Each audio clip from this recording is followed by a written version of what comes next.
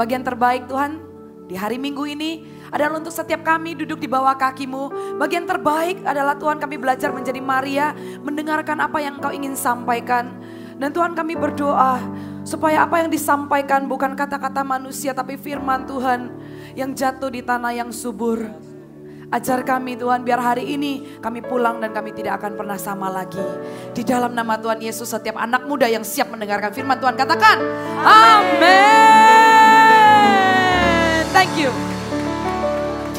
Alright sebelum duduk, sebelum duduk cowok-cowok kalian itu semua ganteng-ganteng. Saya salut sama kalian yang tadi waktu praise and worship loncat-loncat gak peduli itu baju basah apa enggak. Bener-bener saya waktu itu pikir ya, aduh saya salah kostum ini panasnya minta ampun. Tapi saya tetap loncat. Dan juga cewek-cewek, saya salut sama kalian. Saya, kalian gak peduli kalau makeup kalian luntur. Berikan tepuk tangan buat Tuhan. Yeay! This is the spirit. Salam kanan kirinya dan silakan duduk semuanya. Haleluya. Kalian siap mendengarkan firman Tuhan? Ya, saya juga siap, saya antusias sekali saya senang berada di tengah-tengah kalian. Saya senang saya bisa pelayanan menyampaikan apa yang Tuhan ingin sampaikan. Hari ini saya menyampaikan more than conqueror. Lebih dari pemenang. Yang antusias katakan amin. Oke, okay, karena ini khotbahnya masih uh, uh, kira-kira 50 kali 2 menit. Enggak ya, 50 menit. Jadi saya harus simpan tenaga. Saya, calm down. Oke, okay. di Than Conqueror kita akan buka sama-sama di Yosua pasal yang ke-6 ayat yang 1 sampai ke 20. Sekali lagi Yosua pasal yang ke-6 ayat 1 sampai 20. Kita akan bahas dari ayat ke ayat. Waktu saya mempersiapkan Yosua pasal 6 ini, saya baca di mana kisah tembok Yeriko diruntuhkan dan saya membayangkan kehidupan saya sendiri, jemaat juga. Siapa di tempat ini yang dari perjalanannya kenal Tuhan Yesus, kemudian bergereja, kalian juga melayani, kalian tahu bahwa Tuhan adalah baik, amin. Waktu saya katakan God is good, I want you to say all the time. When I say all the time, you say God is good. Can we do that? Ya? Yeah? Oke, okay, let's try. God is good. And all the time. Ya, berikan tepuk tangan buat Tuhan. Pasti kalian terima janji Tuhan. Di dalam dua bulan November dan Desember ini kita berbicara tentang encounter his promise janji Tuhan. Dalam menerima janji Tuhan, kita pasti terpesona banget. Janji Tuhan itu nggak pernah biasa-biasa, benar apa benar? Nggak pernah gitu loh. Janji Tuhan itu selalu wow. Janji Tuhan itu selalu di luar daripada apa yang kita pikirkan, apa yang kita bayangkan. Nah, itu nggak kejadian terima langsung besoknya kejadian langsung jadi digenapi nggak mungkin dong ya dan juga mungkin nggak satu bulan dua bulan kita perlu menjalaninya dengan setia sampai itu digenapi. Dan di dalam perjalanan itu kadang kita melihat banyak hal-hal yang buat kita tuh tawar hati. Kadang tuh buat kita itu curiga. Kita mikir benar gak sih janji itu? Ya curiga. Kemudian kita minta opsi lain. Jadi kita merasa ini janji itu too good to be true. Terlalu terlalu bagus. Kayaknya saya belum di level itu deh Ya, Tuhan berikan kepercayaan. Salah satu mungkin dari teman-teman kita ini atau kalian nih diminta sama kampus untuk berkhotbah di sebuah retret. Ya, terus kalian langsung bilang bercanda. Gua kan nggak ada PDT, PDP, PDM, PHP ya. Kan gua nggak ada, bercanda ya masa gua diundang. Nggak salah, Tanyanya itu bukan sekali, ditanya dari pemimpinnya, dari panitianya, dari uh, temannya yang dikenal semua ditanya, lu gak salah lu undang gua. Lu gak salah bukannya itu yang diundang. Kadang kalau Tuhan itu berikan kepercayaan yang yang di luar daripada kita bayangkan, kita tuh minta opsi lain. Karena kita merasa, yo gue belum lah sampai ke sana. Tuhan itu loh kalau berikan visi, berarti Tuhan tahu seberapa besar dan Tuhan percaya bahwa kapasitasmu gede. Yang percaya katakan amin. Iya. Jadi bukan lagi cara Anda, cara kamu lihat dirimu sendiri.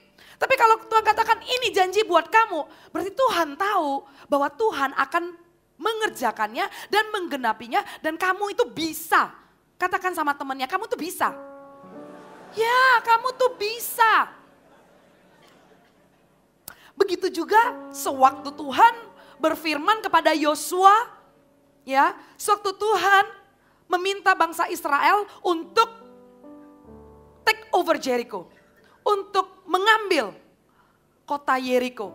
Dan Tuhan berfirman kepada eh, Yosua dan juga dengan rencana-rencana strateginya dan kita akan share sama-sama. Saya akan ceritakan sama-sama di siang hari ini. Mari kita buka di ayat yang pertama dan saya juga ada slide boleh tolong dinyalakan. Judulnya adalah More Than Conqueror. Dan ayat pertama kita baca sama-sama dengan suara yang terbaik satu dua tiga. Dalam pada itu Yeriko telah menutup pintu gerbangnya. Telah tertutup kota itu karena orang Israel tidak ada orang keluar atau masuk. Garis bawah tertutup. Katakan tertutup. Ayat pertama ini saya ingin membahas keadaan kota Yeriko. Kota Yeriko ditutup pintu gerbangnya, rakyat yang ada di dalamnya itu nggak keluar dan nggak masuk karena mereka takut sama bangsa Israel. Bangsa Israel reputasinya itu orang-orang sudah tahu bangsa-bangsa sudah ketakutan. Kalau bangsa Israel datang, mereka itu menyertai Israel dan pasti Israel menang. Jadi Yeriko tuh takut banget, ditutuplah pintu gerbangnya. Dan kita tahu di perikop ini, siapa yang sudah pernah tahu cerita tentang Yeriko? Boleh tolong lambaikannya? Ya banyak. Kita tahu bahwa Selanjutnya Tuhan ngomong sama Yosua bahwa Tuhan akan menyerahkan Yeriko. Ya, Tuhan akan menyerahkan Yeriko. Tapi janji di mana Yeriko akan dikalahkan itu tidak seperti kenyataan yang dilihat. Yeriko itu tidak kelihatan yang gampang di take over.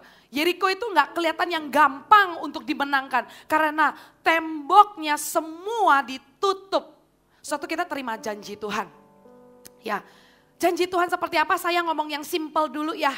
Tuhan bilang, kamu akan jadi orang yang murah hati. Kamu akan jadi orang yang sabar. Kamu akan membawa dampak. Kamu akan jadi orang yang baik. Kita melihat tembok itu tertutup. Waktu terima itu kita bilang gimana gue jadi orang baik kalau gue pulang. Gimana gue jadi orang sabar waktu gue pulang. Keluarga gue tuh gak harmonis.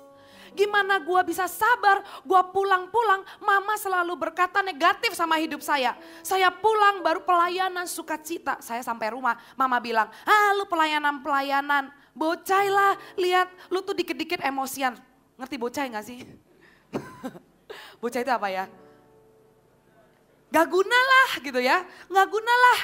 Lu pelayanan pulang-pulang ya masih emosian gitu. Terus kita itu pengen murah hati. Kita tuh dapat janji Tuhan bahwa kamu jadi orang yang murah hati. Kita tuh ya murah hati tuh nggak pelit. Jadi di sini tuh jemaat AUG tuh nggak ada yang pelit, amin. Murah hati kasih tip juga nggak hitung-hitungan, amin. Terus misalnya kalau uh, mau traktir temen juga, maksudnya gini loh, kita itu harus punya mental tuh traktir, bukan ditraktirin. Halo? Amin. Iya, gitu ya. Jadi kalau misalnya teman ulang tahun kita nanya dong, eh kamu mau dikasih hadiah apa? Jangan orang ulang tahun tuh diserbu semua, traktir, traktir. Terus dikasih kue itu ya crackers disusun, terus dikasih si lilin. Ngasih kuenya crackers, tapi ngerame-rame lagi. Jadi bayangin ya malkis disusun gitu ya. Terus dikasih lilin, tiup lilinnya, udah tiup, wah udah senang. Habis itu yang ulang tahun tuh gemetaran, pasti gue diminta traktir. Kita harus jadi orang yang murah hati dan Tuhan itu berkata bahwa kita tuh akan memberi pinjaman bukan menerima pinjaman, amin. Nah tembok itu loh kita lihat sehari-hari, tembok yang tertutup itu loh. Eh, gimana gue jadi murah hati, tabungan gue aja pas-pasan. Ya Cici ngomong sih gampang. Gue kalau traktir orang gue bisa gak makan seminggu. Karena kadang kita pikirnya itu versi kita tau gak sih. Kita counter janji Tuhan itu dengan versi-versinya kita. Gimana ya gue mau jadi orang yang baik sementara teman-teman gue itu selalu fitnah gue, gosipin gue. Gimana gue jadi baik? Kadang ya gue ketemu, I cannot fake it, I just hate her. Gimana gue mau baik? I pray jemaat AOG itu bukan jemaat yang cuma nice tapi jemaat yang kind. Amin. Kalau nice itu ya ramah sama orang gitu ya. Tapi kalau kind itu lain cerita tau gak? Kalau kind itu adalah tulus dari hati, baik gitu loh. Kalau di gereja gitu ya, teman-teman yang datang, orang yang belum pernah ke gereja, nggak kenal Tuhan, mereka datang, mereka selalu berkata, ih orangnya itu ramah-ramah. Tapi saya ingin kalau orang-orang yang nggak kenal Tuhan, teman-teman kalian yang baru pertama kali datang ke gereja Mawar Sharon, ke AOG-nya, anak mudanya dikenal kind, bukan nice. Amin. Dikenal kind jadi kalau misalnya yang nama bedanya kind sama nice itu, nice itu begini, shalom, welcome, udah makan belum? Pasti bilang belum. nah itu itu itu nice gitu ya. Tapi kalau kind itu shalom, dari mana datang sama siapa, udah makan belum belum? Oh iya ya bentar ya bentar ya, dicari sampai ujung dunia. Gimana kalau orang yang nggak makan itu dikasih makan? Kadang kalau kita dengar orang punya masalah itu jangan istilahnya or ya doa ya gitu. We don't want to be that kind of church. Amen. Kita jadi orang tuh yang jadi jawaban juga buat orang. I'm not asking you to be uh, apa ya? Saya nggak saya nggak mengatakan bahwa kalian tuh jadi problem solvernya setiap orang. Tapi lakukan, jangan tahan-tahan kebaikanmu. Nah itu maksudnya.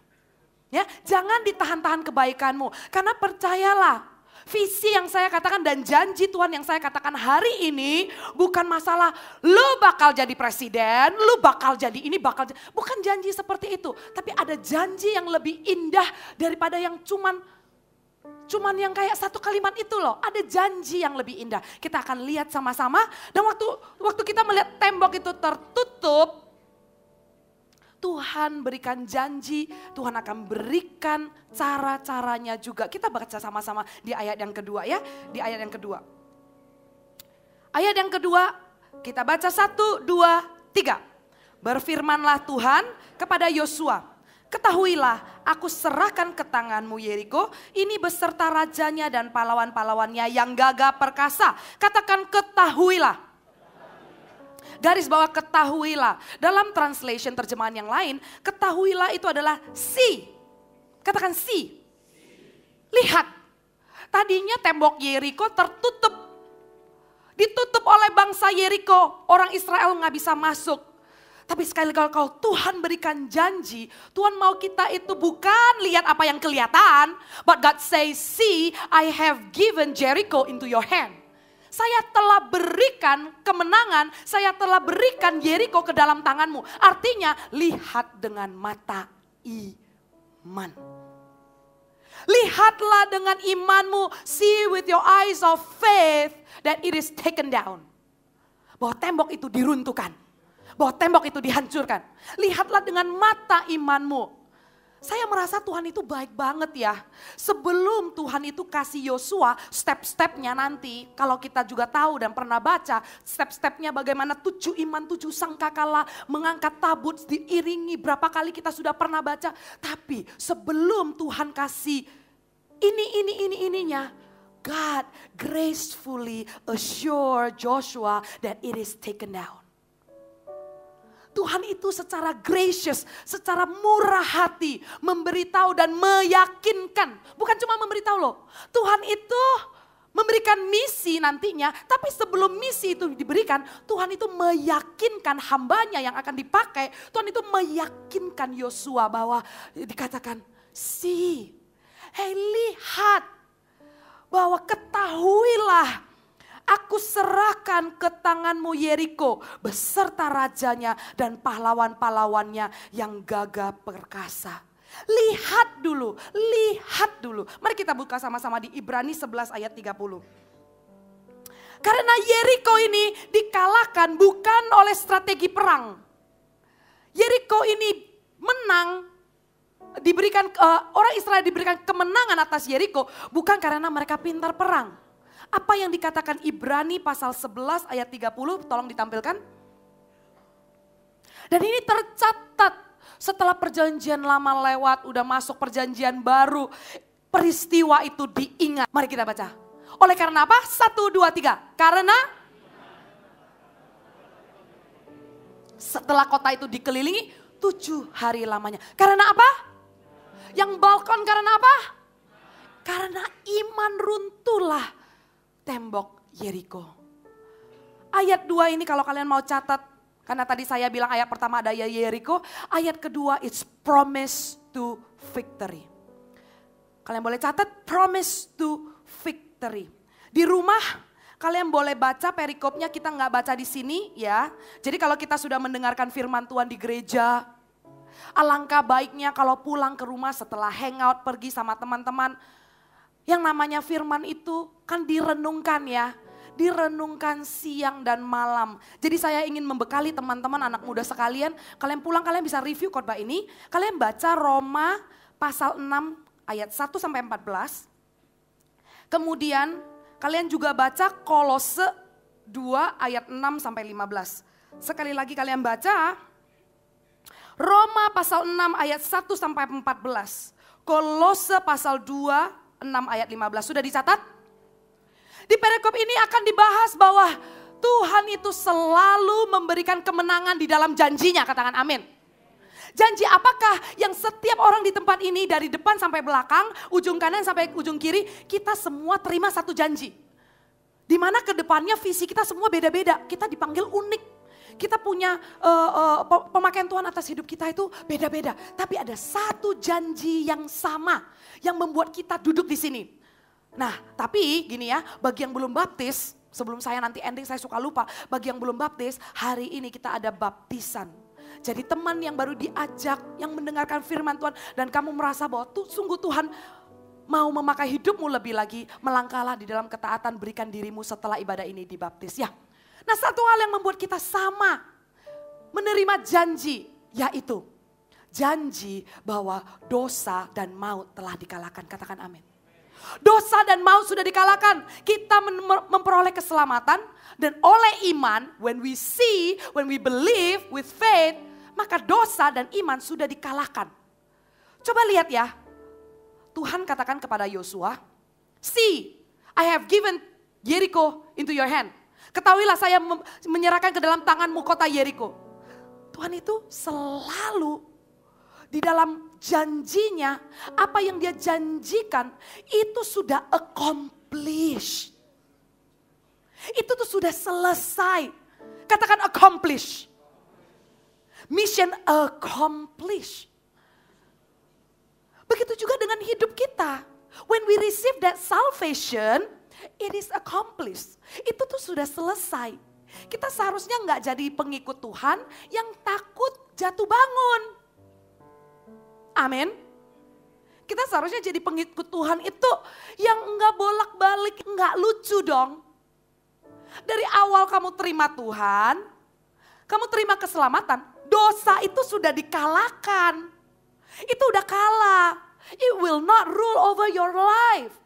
Tidak akan lagi menjadi, tidak akan lagi berkuasa atas hidupmu. Lain cerita kalau lu izinkan itu berkuasa. As simple as that. It's the promise and it is accomplished. Janganlah takut akan dosa dan maut itu. Karena itu sudah kalah di bawah kaki Yesus. Katakan amin. Seperti itulah janji Tuhan dalam hidupmu. Yang tadi saya katakan kita semua punya satu janji itu. Yaitu kita tidak takut akan dosa dan maut. Katakan amin. Tapi berjalan ya perjalanan kita setelah kita kenal Tuhan ya. Tuhan ada mau kasih janji-janji yang berbeda-beda. Bagi yang masih kuliah, ada janji Tuhan dalam hidupmu. Bagi yang mau memulai usaha, ada janji Tuhan dalam hidupmu. Bagi yang udah pacaran, mau mempersiapkan pernikahan, ada janji Tuhan dalam hidupmu. Amin. Wah, aminnya paling kenceng lagi.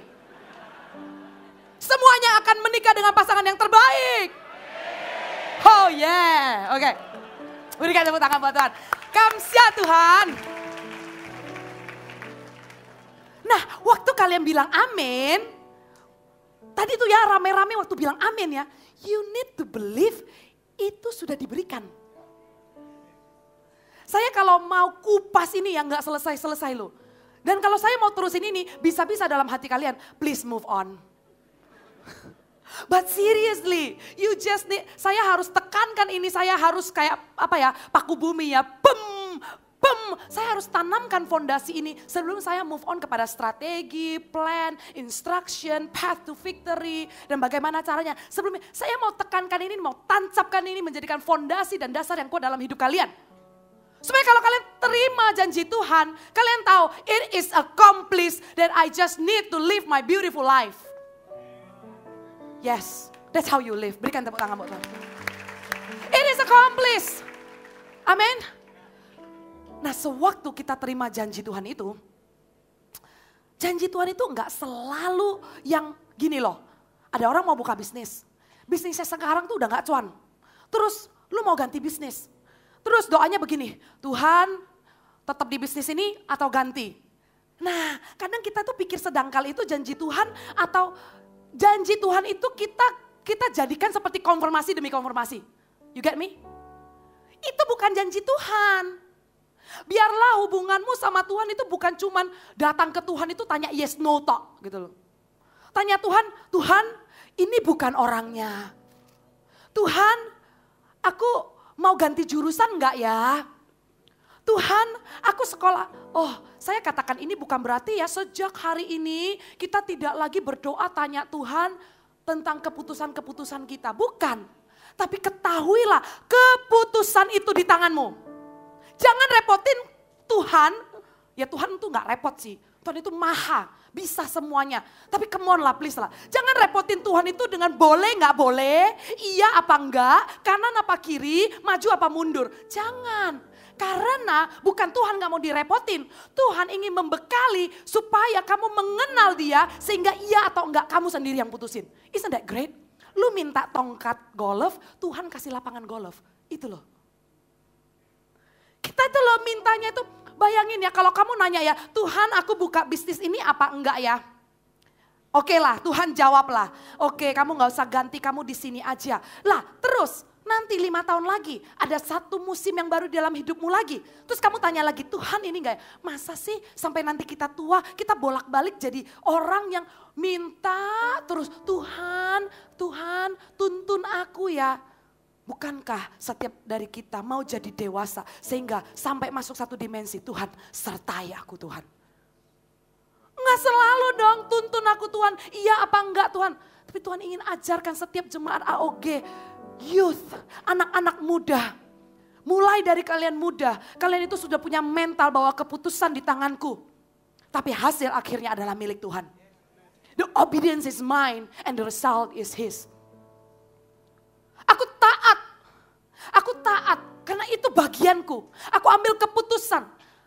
Intinya orang yang kalau kenal Tuhan, hubungannya dekat sama Tuhan, keputusannya nggak akan nggak akan ngaur-ngaur. Benar apa enggak? Jadi kalau Anda tanya tadi bisnis gitu ya, bisnis. Bukan jawaban yang ganti bisnis apa enggak yang kamu perlukan sama Tuhan. Tapi saya kasih contoh, sewaktu Anda mulai merasa bisnis ini sepi, Anda berpikir saya mau ganti bisnis apa enggak, berlututlah sampai kamu mendengarkan janji Tuhan. Janji Tuhan seperti apa? Sampai kamu mendengar Tuhan katakan, aku besertamu, itu janji. You hear me? Hello, amen? Aku besertamu. That's the word that you need to hear. Bukan tentang ganti apa enggak, kanan apa kiri, maju apa mundur, iya apa enggak, bukan itu. But that one voice that you are waiting for, it's his heart.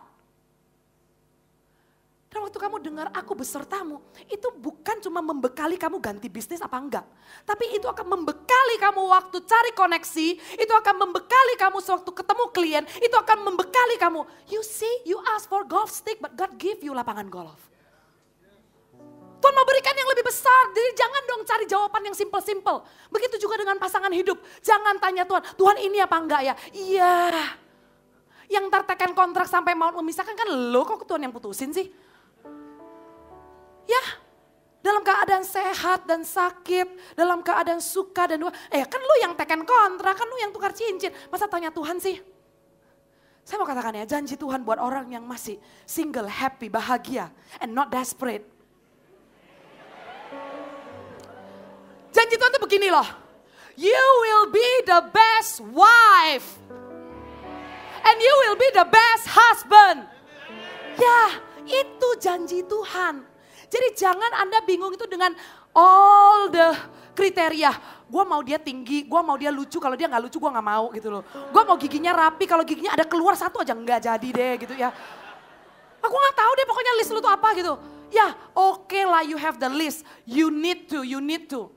Tapi selama perjalanan jangan tanya Tuhan itu, itu enggak ya, itu enggak ya, ini enggak ya. Hmm, Tuhan kalau misalnya dia senyum sama gue, kayaknya dia deh, soalnya dia jarang-jarang senyum. Lu enggak tahu kalau dia ketemu semua orang dia juga senyum? No. Janji Tuhan itu kadang simple, you know what?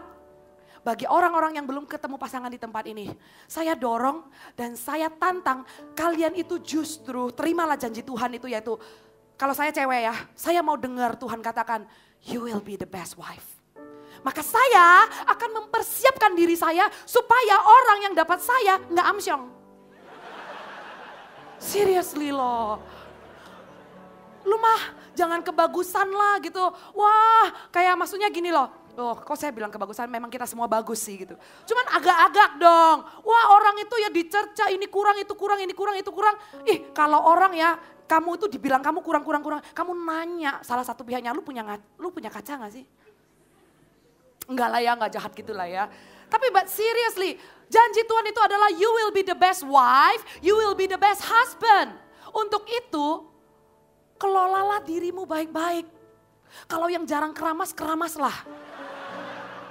Yang kalau malas sikat gigi, sikat gigi lah. Please, tolong. Kalau yang pelit, berubahlah Anda jadi mula hati. Amin. Kalau kalian bisa kelola diri kalian. Kalau saya dikasih waktu ya untuk membahas tentang sex, dating, and marriage, I will talk about dating.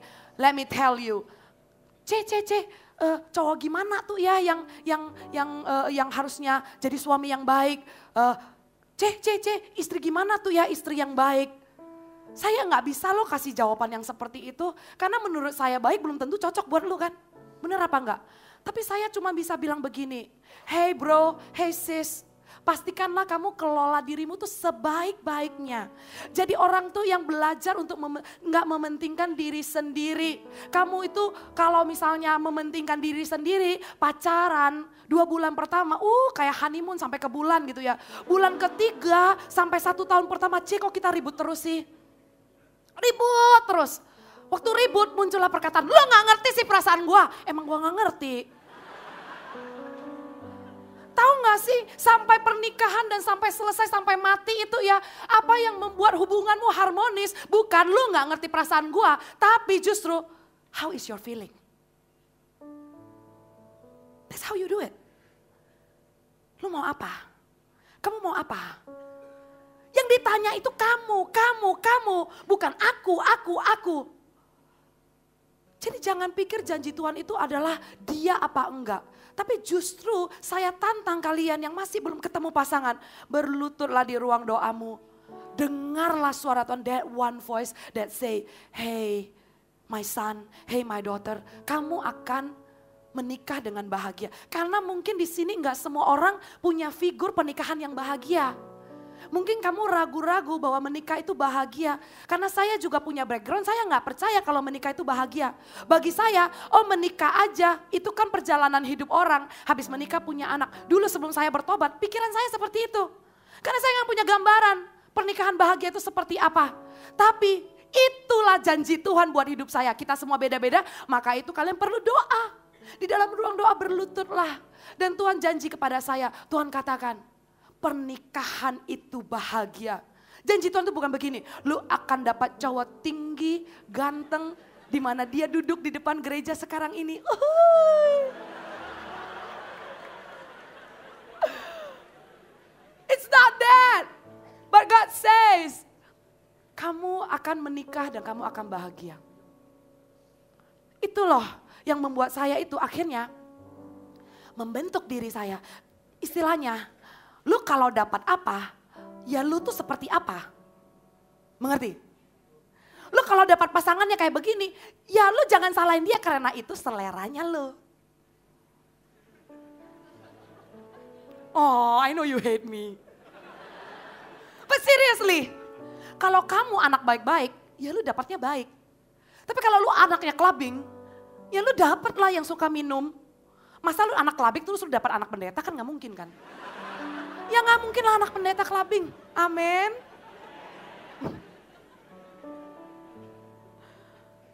So it's depend on you. Bagaimana engkau membentuk dirimu, maka kamu dapat pasangan seperti apa. Dan itulah janji Tuhan. Tapi gini loh, Tuhan itu nggak membiarkan kita uh, hanya dengan kata misalnya aku besertamu, Atau Tuhan tidak akan membiarkan kita itu hanya dengan mengatakan kamu akan menikah dan kamu akan bahagia. Tapi Tuhan itu juga provide, Tuhan menyediakan strategi dan plannya. Amin. Cuman gini loh, kalau kita nggak bisa yang satu ini dulu, kita nggak bisa ikutin plannya. Ini urutan, nggak bisa dibalik. Jadi harus ketahuilah, terimalah janji itu, see you with your eyes of faith, dan nanti-nantikanlah that one voice, baru nanti strateginya itu baru cengli. Tapi kalau misalnya lu nggak dengar that one voice, lu dapat strateginya, lu bilang itu bocengli. Benar. You just need to listen to that one voice first. Setelah itu, Tuhan akan kasih, kasih tahu strateginya. Dan strategi di Yosua ini ada di ayat 3 sampai ke 7 kita baca sama-sama. Kalau Yosua dapat ini dan dia tidak menerima visinya dulu, benar deh dia bilang ini strategi bocing di banget. Tapi karena dia dengar that one voice, this become make sense. You wanna read it? You sure? Let's read it. Ya. Ayat yang ketiga sampai yang ketujuh. Satu, dua, tiga haruslah kamu mengelilingi kota itu, yakni semua prajurit harus mengedari kota itu sekali saja. Demikianlah harus kamu perbuat enam hari, lamanya empat. Dan tujuh orang imam harus membawa tujuh sangkakala tanduk domba di depan tabut. Tetapi pada hari yang ketujuh, tujuh kali kamu harus mengelilingi kota itu sedang para imam meniup sangkakala. Apabila sangkakala tanduk domba itu panjang bunyinya dan kamu mendengar bunyi sangkakala itu, maka haruslah seluruh bangsa bersorak dengan sorak yang nyaring. Maka tembok itu akan runtuh, lalu bangsa itu harus memanjatnya masing-masing langsung ke depan. Ayat yang keenam. Kemudian Yosua bin Nun memanggil para imam dan berkata kepada mereka, angkatlah tabut perjanjian itu dan tujuh orang imam harus membawa tujuh sangkakala tanduk domba di depan tabut Tuhan. Dan kepada bangsa itu dikatakannya,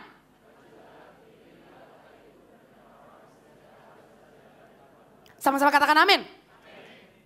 Kalau Yosua meminta nasihat daripada uh, uh, orang militer atau penasehat perangnya, Kira-kira strategi ini akan muncul nggak dari seorang militer?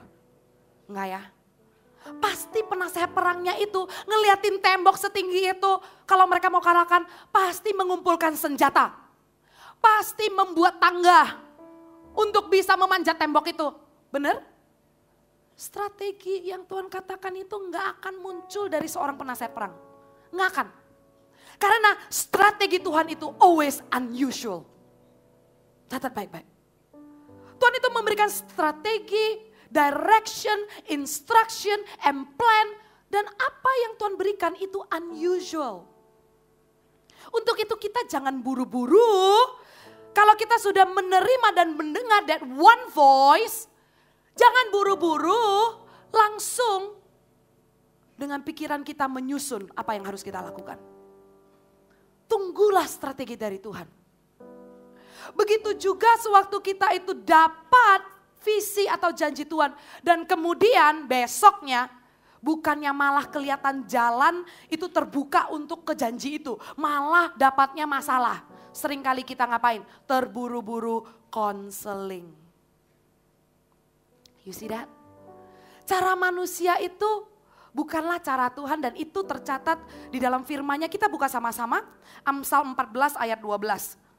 Ya, kita banyak buka firman Tuhan karena saya percaya iman tumbuh tumbuh dari pendengaran atas firman Tuhan. Ya, juga bisa ditampilkan Amsal 14 ayat 12. Ya, ada di depan. Mari kita baca sama-sama. Satu, dua, tiga. Ada jalan yang disangka orang lurus, tapi ujungnya menuju maut. Ada disangka gue perlu sharing sama teman baik gue. Tapi saya bukan bilang teman baik kita itu gak akan kasih nasihat yang baik ya. Tapi apa yang dipikir manusia lurus. Ternyata ujungnya menuju maut.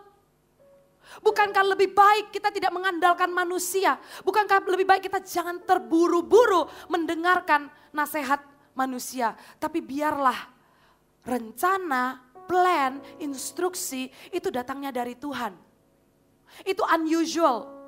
Kenapa unusual? Karena janji milik dia, it is accomplished. Tuhan yang akan menggenapinya. Jadi biar plannya juga milik Tuhan dong. Iya kan?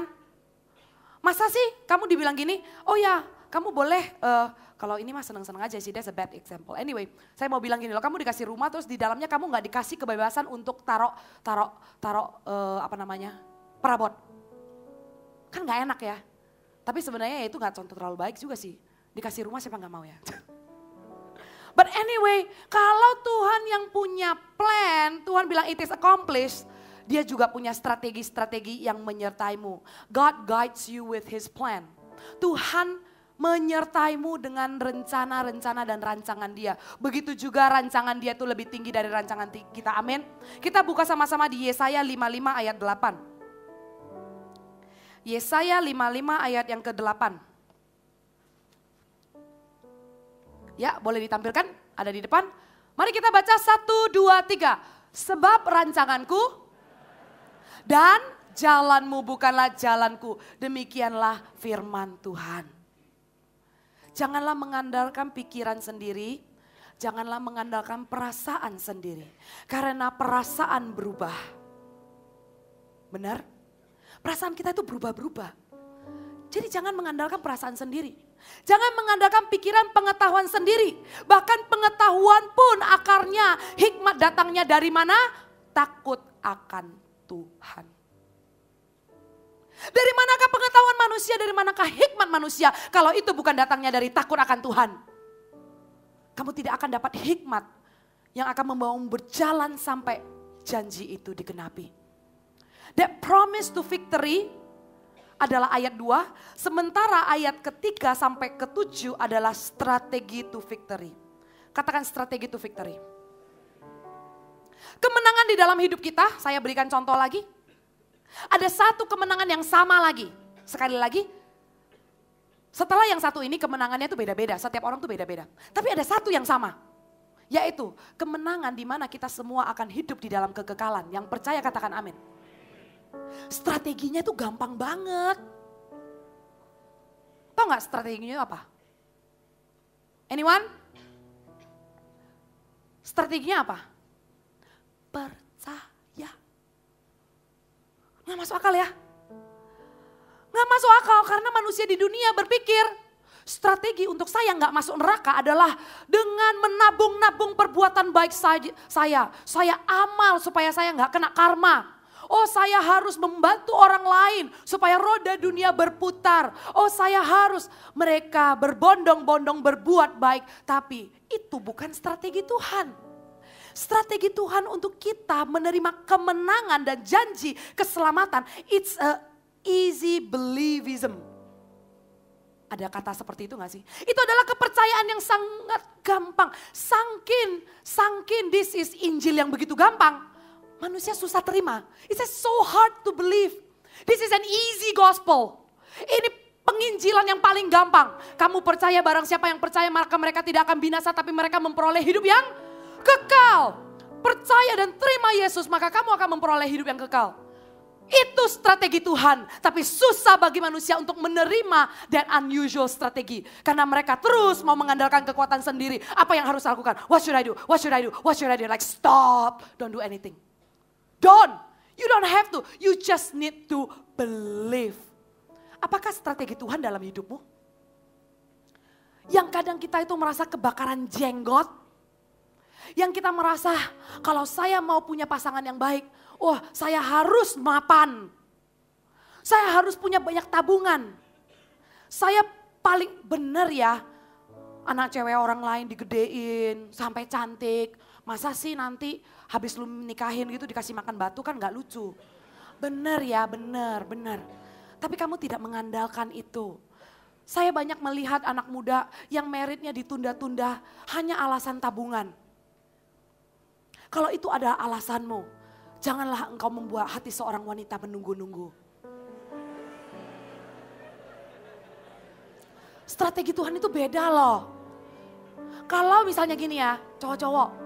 Kalau kamu itu udah, maksudnya karaktermu itu takut akan Tuhan ya. Cowok-cowok nih ya. Cewek-cewek juga gitu loh. Jangan bilang, iya sih gue mintanya nggak nggak banyak-banyak sih, gue cuma minta cowok mapan. Yang mapan bisa beli rumah, mapan satu tahun ke Disneyland sekali, mapan bisa ini. Ini dua arah ya, boys and girls listen up. Kalau misalnya para cowok itu berpikir, ya strateginya itu biasa, gimana dong C, soalnya lo cewek-cewek sekarang mereka bilang mau cowok yang mapan gitu loh. Loh mapan itu versi apa dulu gitu. Kalau engkau adalah cowok yang karakternya sudah dibentuk, mau kerja, nggak males, takut akan Tuhan. Kamu adalah cowok yang cari dahulu kerajaan Allah, maka semuanya akan ditambahkan kepadamu. Pakai pikiranmu sendiri, perasaanmu sendiri. Jangan baper-baper kalau kamu naksir cewek itu. Oh Tuhan. Gimana weh? Na na na na. Ku sayang dia, ku cinta dia. Bolak-balik suami saya nyanyi lagu itu di rumah.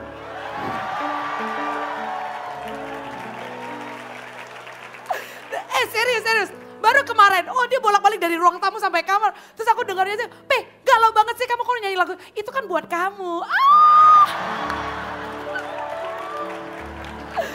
Terus aku bilang, nggak usah jauh-jauh mas sampai oh Tuhan aku loh di sini. Aduh ini sampai mana sih? Oh. I'm having so much fun. Are you having fun? Oh, I'm having so much fun, alright. Bagi cowok tuh ya, kalau kamu tuh misalnya ada naksir satu suatu orang cewek gitu ya. Kenalan, jadi teman, tapi jangan perlambat langkahmu karena kamu merasa dirimu tidak ada apa-apanya. Dirimu cuma perlu satu hal, kamu punya Tuhan, kamu takut akan Tuhan. That's all you need. Cewek-cewek, cari, ini simple ya, kita ada seven checklist and please follow that. But this is simple. Cewek, cari cowok yang takut akan Tuhan. Cowok cari cewek yang pintar. Simple. Bukan berarti oh cowok nggak perlu cari cewek yang takut akan Tuhan. Tapi gini loh, kita percaya ya kalau misalnya cewek itu dalam kerohanian atau dalam uh, uh, berdoa, cewek itu gimana feelingnya, koneksinya itu lebih cepat, bener ya? Bener ya? Nah untuk itu saya sangat menganjurkan cewek-cewek carilah cowok yang takut akan Tuhan, Cowok-cowok, please carilah cewek yang pintar. Kita cewek juga pintar dong. Jangan menggantungkan hidupmu takut banget sama cowok gak mapan karena lu merasa hidup lu setelah menikah itu pokoknya ya semua dibiayai suami lah. Gue gak mau pusing lah. Gue gak mikirin kerjaan lah. Gue gak merintis karir lah. Pokoknya gue mau cowok mapan. Ya jangan begitu dong.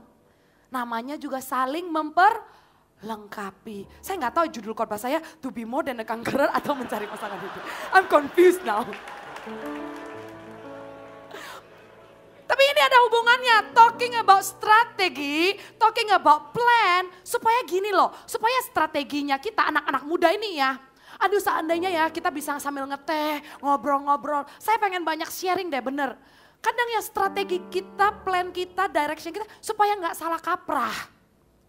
Kita jangan sampai pentingin apa yang gak penting. Don't major in the minor things. Yang major biarlah tetap major. Jangan kita tuh cari pretelan-pretelan yang gak penting. Yang penting tetaplah penting. Yang gak penting tetaplah gak penting. Supaya kita fokus. Oke? Okay?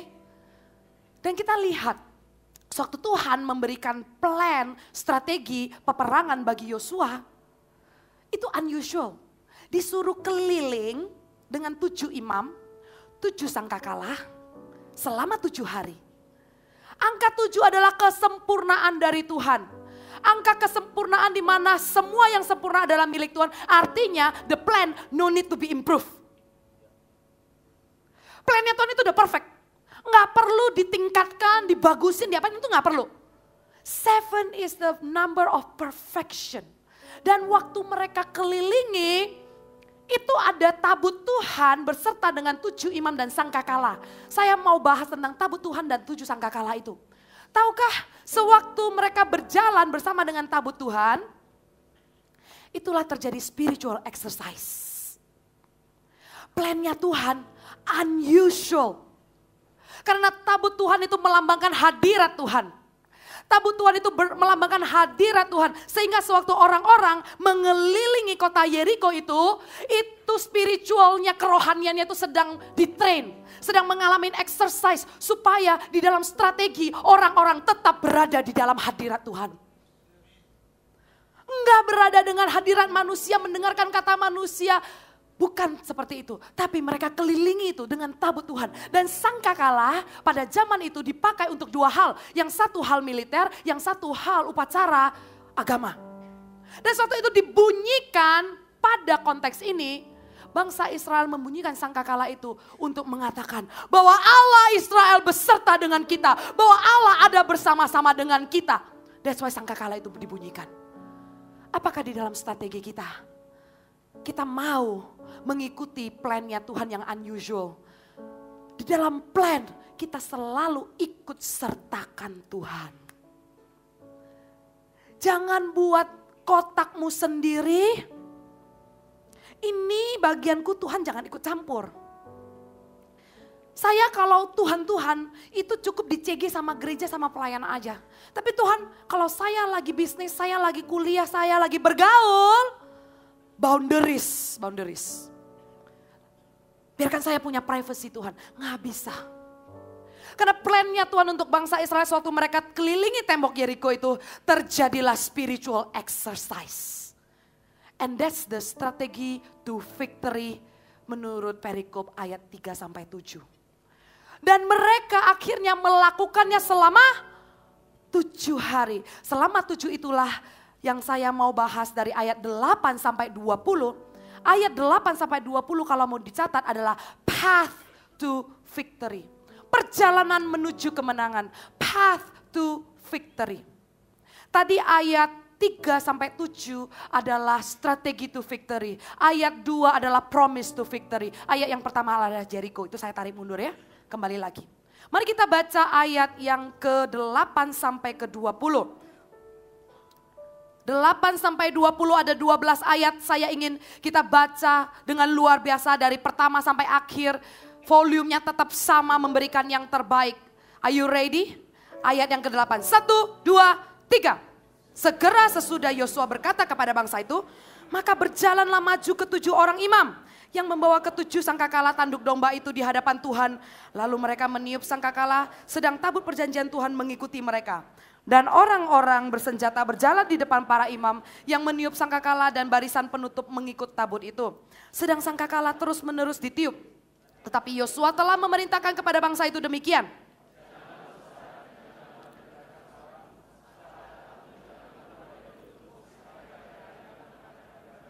Berhenti sebentar. Katakan janganlah bersorak. Janganlah perdengarkan suaramu. Sekali lagi janganlah bersorak. Mari kita lanjut ayat yang ke-11. Demikianlah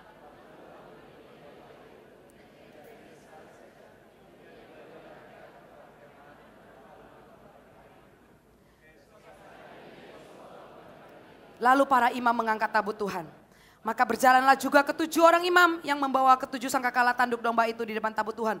Sambil berjalan mereka meniup sangkakala, sedang orang-orang bersenjata berjalan di depan mereka dan barisan penutup mengikuti tabut Tuhan. Sementara sangkakala terus menerus ditiup. Demikianlah pada hari kedua mereka mengelilingi kota itu sekali saja. Lalu pulang ke tempat perkemahan dan begitulah dilakukan mereka enam hari lamanya. Berhenti di sana. Kita berhenti di sana dulu, 15 kita akan lanjut path to victory, perjalanan menuju victory. Ada dua poin yang saya ingin sampaikan di dalam perjalanan menuju victory ini. Dengan ayat yang tadi kita baca. Yang pertama, path to victory, poin yang pertama adalah priority of silence. Boleh ditampilkan slide-nya? Priority of silence. Silakan di LED. Karena di ayat yang 10 dikatakan janganlah bersorak, katakan janganlah bersorak. Janganlah perdengarkan suaramu sepatah kata pun jangan keluar dari mulutmu. Mereka mengelilingi tembok Yeriko. Tujuh orang imam mengangkat tabut.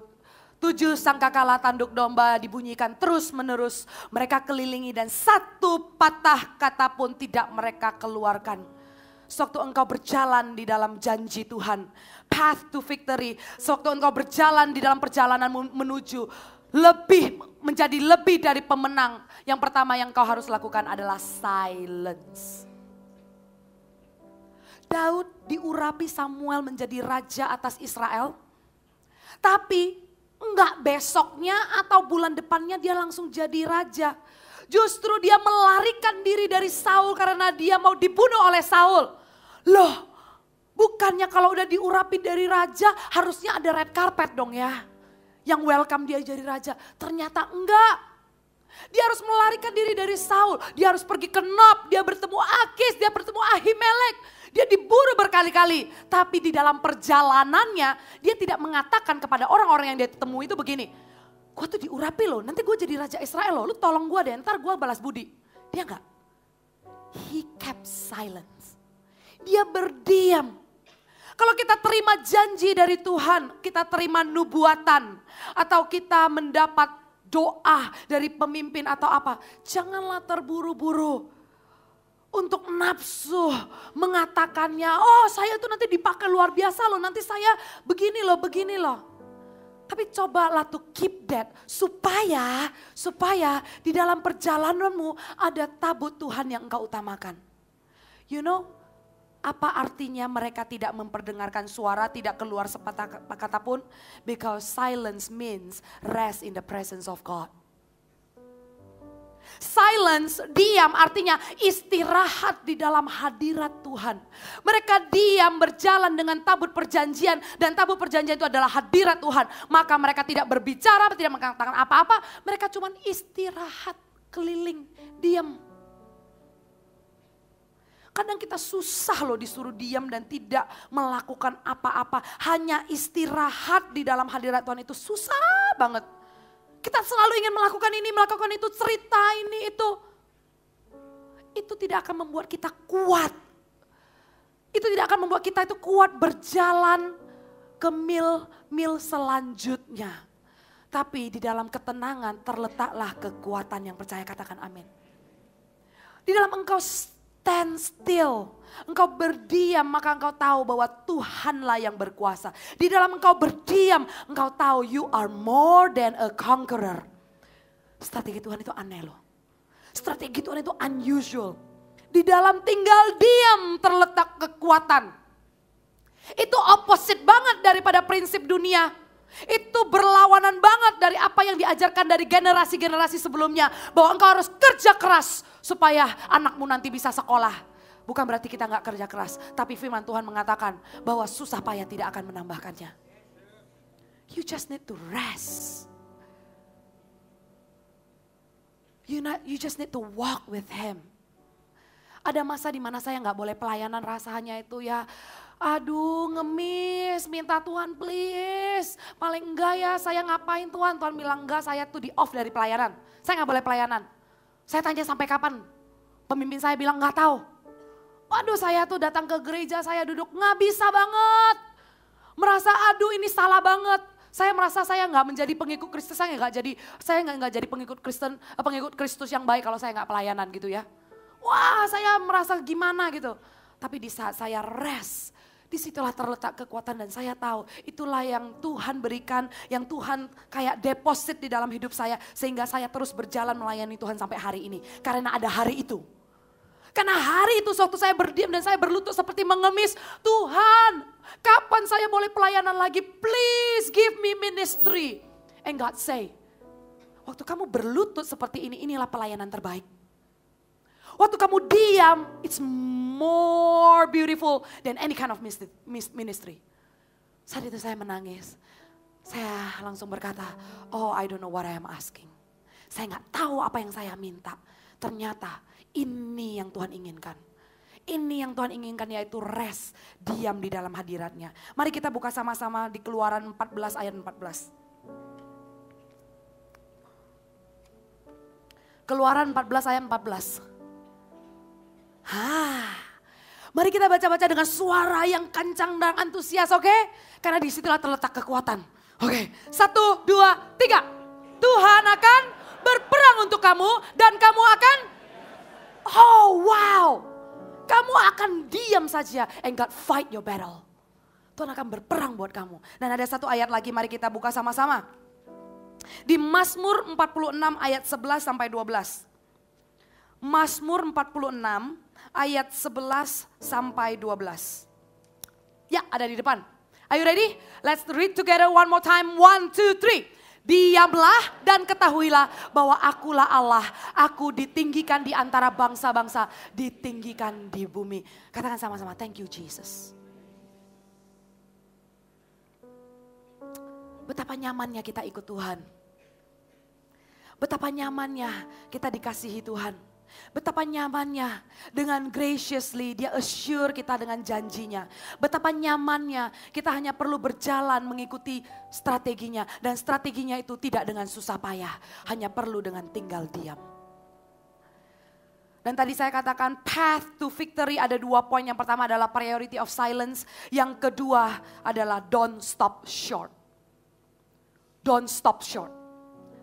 Artinya jangan berhenti di tengah jalan gitu loh. Kalau janji Tuhan adalah akhir daripada panggung ini, janganlah kita berhenti di tengah jalan.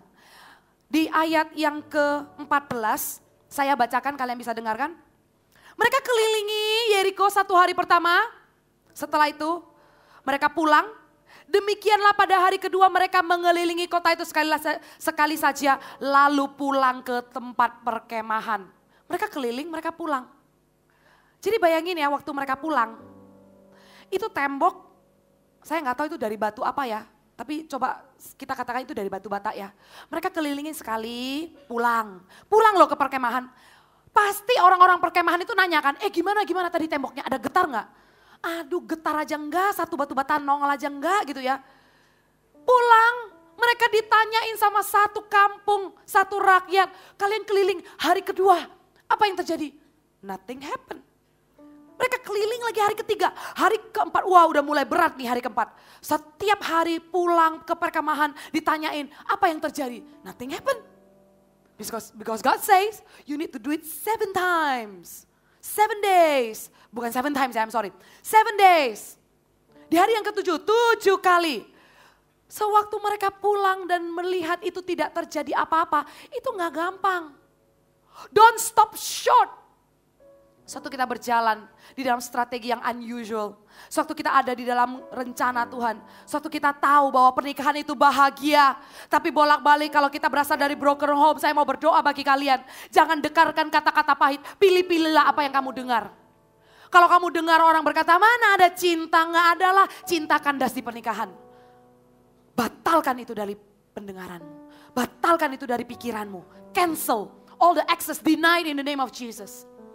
Semua akses seperti kata-kata itu tolak di dalam nama Tuhan Yesus. Bagaimana caranya supaya kita nggak stop short? Bagaimana caranya so that you don't fall short? Ada tiga caranya. Dan setelah tiga cara ini saya akan selesai. Cara yang pertama adalah jangan biarkan perspektifmu terganggu. Itu yang pertama. Yang kedua taat. Yang ketiga tekun. Kalian boleh catat dan saya jelaskan dengan singkat saja. Bagaimana supaya Anda nggak stop short? Yang pertama, jangan biarkan persepsimu terganggu. Yang kedua, taat. Yang ketiga, tekun. Saya jelaskan yang pertama. Bagaimana supaya kita itu perspektif per, per ah, I'm sorry. Dari tadi saya ngomong terus loh, kan kalian dudukan. Jadi maklum dong. Ini udah kebelet-belet nih. Jadi bagaimana supaya perspektif kita tidak terganggu? Saya kasih tips, pilih-pilihlah siapa yang kamu dengar. Jangan izinkan semua masukan itu masuk ke dalam pikiranmu. Karena tidak semua masukan kamu perlu pertimbangkan. Depend siapa yang ngomong. Bukan berarti kita jadi orang yang hatinya nggak mau diajar. Oh jadi sombong, nggak nggak mau diajar, hatinya nggak mau dibentuk. Bukan, bukan. Tapi kalau semua masukan orang perlu engkau pertimbangkan, maka bagaimana caramu hidup hanya memenuhi ekspektasinya orang-orang. Tapi pilih-pilihlah siapa yang kamu dengar. Jangan terlibat di dalam drama hidup orang lain. Siapa yang kamu dengar adalah orang yang hidupnya masih takut akan Tuhan dan buahnya memuliakan nama Tuhan. Saya harap saya cukup jelas dalam area ini. Siapa yang kamu dengar anak muda? Dengarlah orang yang hidupnya masih takut akan Tuhan dan buah-buahnya memuliakan nama Tuhan. Are you clear? Supaya perspektifmu tidak terganggu. Supaya engkau menyaring filter dengan baik-baik apa yang kamu dengar. Enggak semuanya kamu telan. Dan saya percaya Tuhan dan Roh Kudus akan menolongmu di area itu. Katakan amin. Kalau taat, ingatlah tadi saya katakan, obedience is your responsibility, the outcome is mine. That's God say. Tuhan katakan bahwa taatlah karena itu tanggung jawabmu karena hasil akhirnya adalah milik Tuhan. Jadi yang kita perlu lakukan adalah taat. Minggu lalu Jimmy khotbah tentang Naaman. Dia seorang di bagian militer yang dihormati. Dia disuruh celup tujuh kali. Dia tuh punya pangkat loh. Sebenarnya nggak lucu loh. Dia mau temui Nabi tapi nggak ditemui tapi justru disuruh celup-celup tujuh kali. Tapi dia tahu siapa yang mengatakan itu.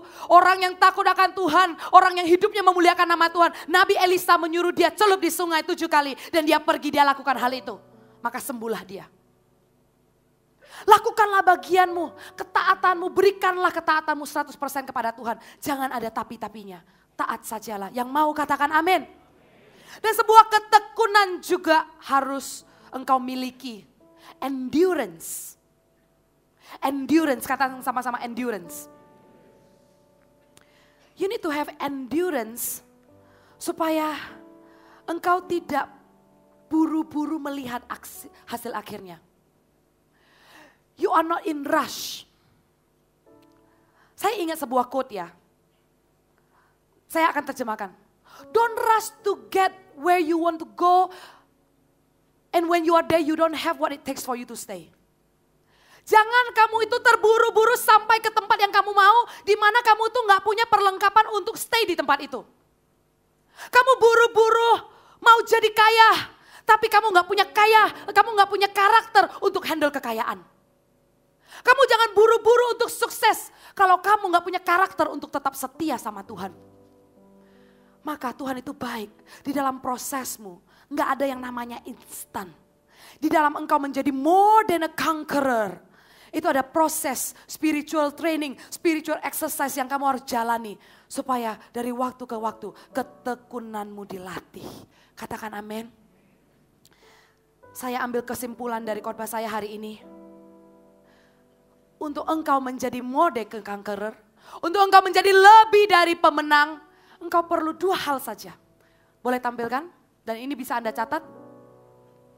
How to be more than a conqueror. Yang pertama baca sama-sama. Satu, dua, tiga. Faith in God's power. Yang kedua, faithfulness to his plan. Mari kita sama-sama bangkit berdiri. Kalian belajar sesuatu hari ini? Yes, kalian diberkati? Ya, katakan sama teman-temannya di depan, di belakang, ada janji Tuhan di dalam hidupmu. Saya ingin berdoa untuk setiap jemaat AOG. Bagaimana perjalanan hidupmu sampai hari ini engkau dengarkan firman ini? Apakah kalian adalah orang-orang yang punya janji Tuhan dalam hidupmu? Apakah janji Tuhan yang kau terima itu adalah versi yang benar atau versimu? Kita mau berdoa sama-sama di tempat ini. Supaya setelah Anda pulang, ada sebuah assurance, ada sebuah keyakinan, ada sebuah suara, that one voice that speak to you right now in this place yang berbicara kepadamu di tempat ini sekarang juga yang akan membekali engkau berjalan di dalam perjalanmu dari hari ke hari, bulan ke bulan, tahun ke tahun. Anda mau? Angkat tanganmu. Tuhan aku berdoa di dalam nama Tuhan Yesus keadaan jemaat yang seperti apa pun sekarang ini. Kemungkinan apa yang mereka lihat adalah tembok yang tertutup. Yang mereka lihat adalah tembok yang susah dimenangkan. Aku berkata di dalam nama Tuhan Yesus. Saat kami sama-sama menyembah engkau di akhir ibadah ini. Maka engkau akan memberikan janji yang baru di dalam nama Tuhan Yesus. Engkau akan memberikan visi yang baru di dalam nama Tuhan Yesus. Mereka melihat dan mereka mendengar. That one voice di dalam nama Tuhan Yesus. Ku percaya kau Tuhan yang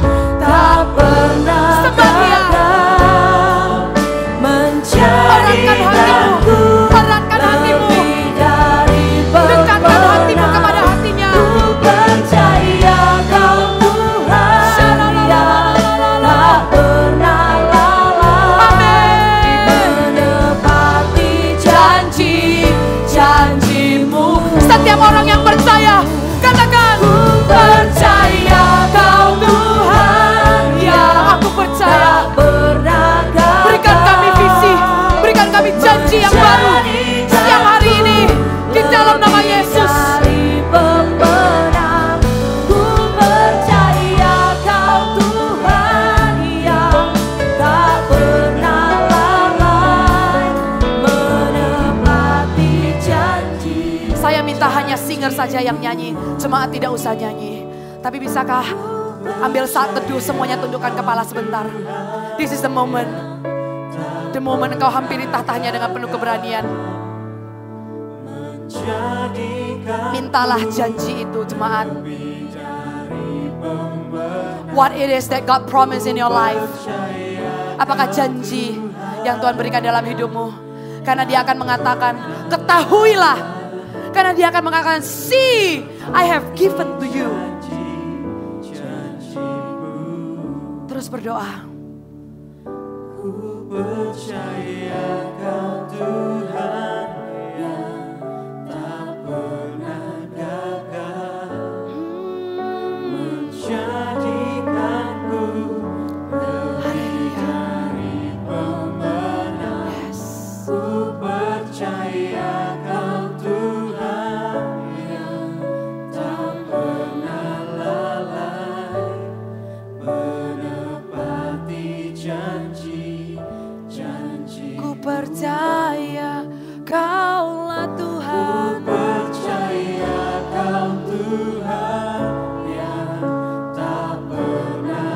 Kalian ditentukan untuk menjadi lebih dari pemenang.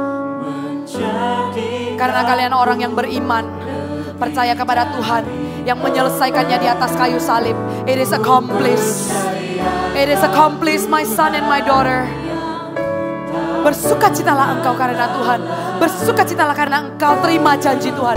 Bersukacitalah karena engkau terima janji Tuhan. Sama-sama angkat tanganmu.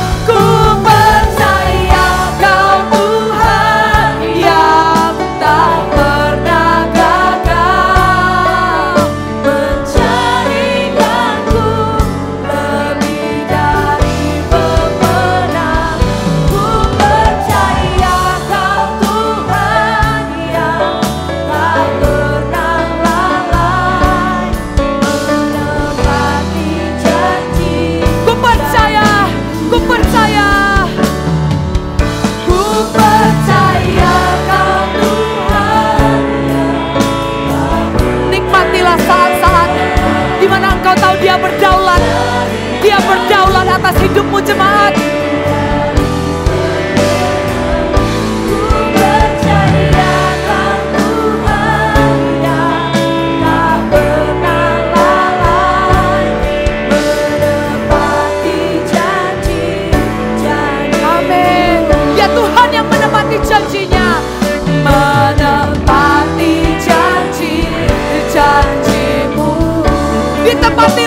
Tuhan yang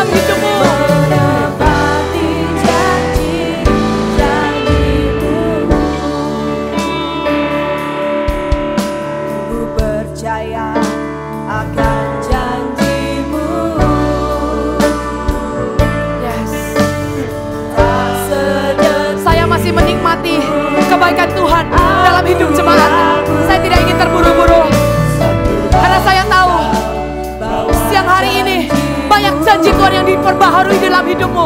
Karena saya percaya hari ini siang hari ini sebelum engkau pulang, you will encounter the promise. You will encounter His promise. Tenggelamlah di dalam janji Tuhan. Oh, pasti